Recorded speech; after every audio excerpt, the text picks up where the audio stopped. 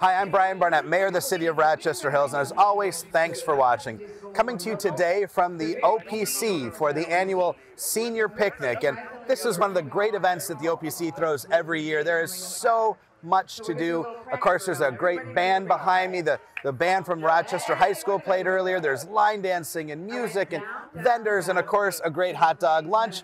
And everyone seems to have a great time out here. In fact, we found a random, completely random OPC senior right here. What's your name? Darlene. Justin. Darlene Justin. And is this your first OPC picnic or do you come every year? Every year. You come every year. And do you love the picnic? I love the picnic. And what's your favorite part about the OPC?